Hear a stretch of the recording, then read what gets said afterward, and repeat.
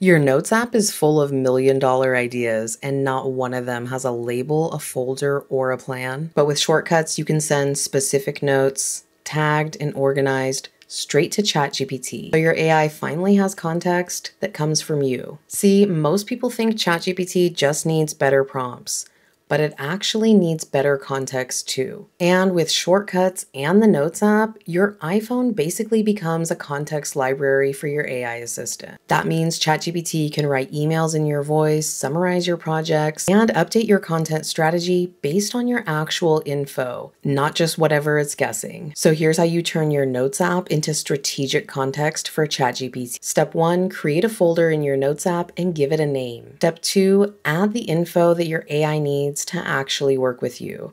Just the strategic pieces your brand voice, your offers, your audience profile. And step three is optional but elite. Add tags to each note so you can quickly filter, like brand voice or audience. And if you're feeling extra, link them together in an index note. That way, even your chaos has its own little sitemap.